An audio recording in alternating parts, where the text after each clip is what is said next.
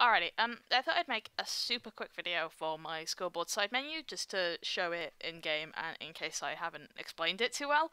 Uh, for starters, it isn't a scoreboard. Please don't buy it thinking it is one. That is something you will have to provide yourself. Um, basically, when you press tab, the scoreboard side menu will slide into view. Uh, the animation is entirely optional. If you want it to just appear right away and leave doing the same, then uh, you can in the config file. Uh, for some game modes that will probably be necessary. Um, with the buttons, there's three things you can do. You can have it run a console command, which I've done with the point shop. You can have it open a URL, which I've done with donate. And then, lastly, you can also have it run a function, which is what I've done with close. Uh, I guess I'll show an example of that. Uh, there you go. Um, it's very easy to modify, that's sort of what I've kept in mind. Uh, there really, honestly, isn't much to say about this.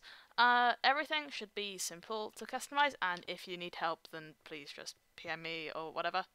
Thanks.